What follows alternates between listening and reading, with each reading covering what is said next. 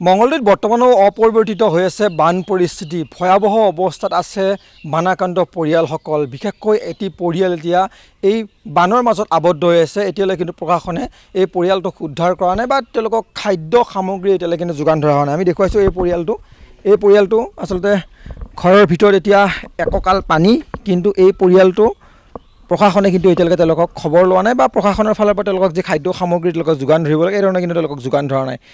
আশ্ৰয় শিবিৰ নোপোৱাৰ কাৰণেই এই ধৰণে তেওঁলোকে এই ঘৰটোত আহ, আবদ্ধ হৈ আছে পানী যিটো বাঢ়ি আছে কিন্তু পানী বাঢ়ি থকাৰ লগে লগে কিন্তু এই ঘৰখনৰ ভিতৰত থকা যিসমূহ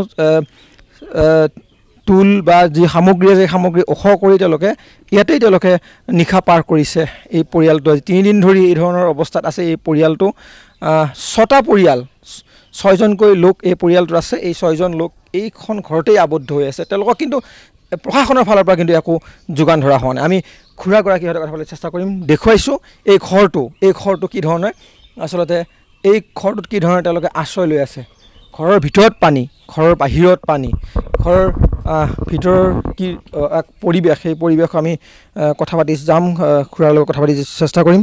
পুনৰ দেখুৱাইছোঁ এক আহ, অবৰ্ণনীয় এক পৰিৱেশ বান পৰিস্থিতিৰ মাজত। মঙলদৈ এক নম্বৰ গেৰিমাৰী গাঁৱত এতিয়া এই ধৰণৰ এক পৰিৱেশ দেখিবলৈ পোৱা গৈছে। আমি খুৰাৰ লগত কথা পাতিম।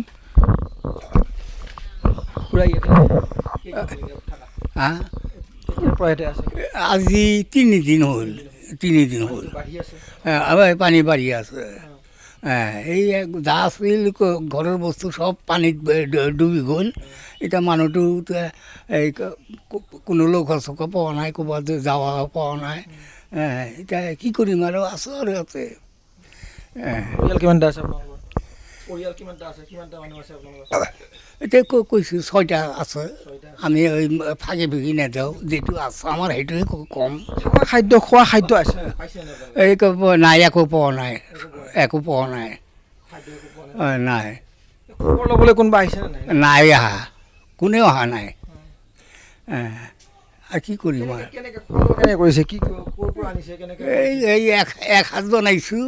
আৰু এই এক সাঁজে খাইছোঁ আৰু দিনটো যে এই লগন পৰাৰ নিচিনা পৰি আছোঁ এ, নিশ্চয়কৈ বয়োজ্যেষ্ঠ লোক আছে। তাৰপিছতো কিন্তু এই পৰিয়ালটো কিন্তু প্ৰশাসনৰ ফালৰ পৰা কোনো ধৰণৰ খবৰ ল'বৰ কাৰণে S D R F N D R F আহি উদ্ধাৰ কৰিবৰ কাৰণে অহা নাই। যিহেতু এখন টুলুঙা এখন ভেল তেওঁলোকে বনাই লৈ ঘৰৰ কিছু সামগ্ৰী তেওঁলোকে ওখ স্থানলৈকে লৈ গৈছে। যদি কিন্তু শিবিৰ পোৱা শিবিৰ আপোনালোকে শিবিৰ নাই। এতিয়া স্কুলৰ চাবিটো খুজিছিলোঁ এতিয়া বোলে এইটো নেদায় আকৌ বাইদেউৰ নম্বৰ লাগে। বাইদেউৰ নম্বৰটো আমাৰ লগত নাই। আমি এতিয়া ক'ৰ পৰা পাম? এতিয়া প্ৰশাসনে ব্যৱস্থাটো যদি কৰি দিয়ে পিছে আমি যাব যাব পাৰিম। শিবিৰ নোপোৱাৰ কাৰণে অঁ শিবিৰ নোপোৱাৰ কাৰণে ইয়াতে থাকিব লগা হৈছে আৰু এতিয়া।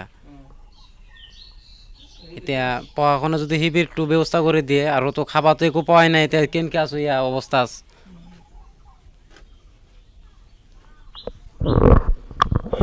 পুনৰ দেখুৱাইছোঁ আচলতে এক দুখ লগা এটা পৰিৱেশ আচলতে ছবি দেখিলেই আপোনালোকে জানিব পাৰিব যে কি ধৰণৰ পৰিৱেশত এই পৰিয়ালটো আচলতে আশ্ৰয় লৈ থাকিব লগা হৈছে। আমি দেখুৱাইছে সামগ্ৰী পৰিৱেশ পৰিয়ালটোৰ এক দুখ লগা পৰিৱেশত আছে।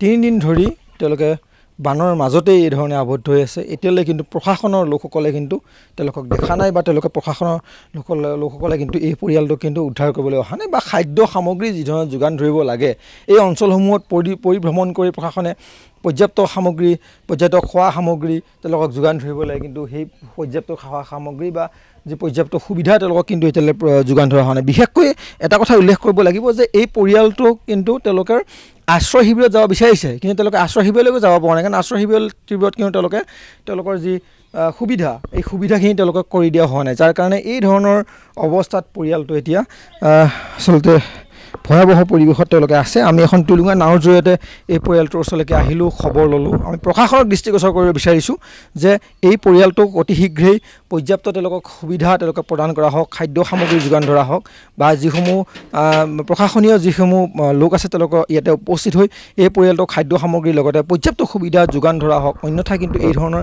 এক ভয়াৱহ পৰিৱেশৰ সৃষ্টি হ'ব পাৰে। কাৰণ পানী বাঢ়ি আছে। যদি আৰু পানী বাঢ়ে কিন্তু তেওঁলোকে থাকিব নোৱাৰিব। এই পৰিয়ালটো। সেইকাৰণে আমি প্ৰশাসনক অনুৰোধ জনাইছোঁ যাতে এই পৰিয়ালটোৰ ওচৰত আহি এই পৰিয়ালটোৰ খবৰ লওক আৰু পৰ্যাপ্ত যি খাদ্য সামগ্ৰী তেওঁলোকক যোগান ধৰক।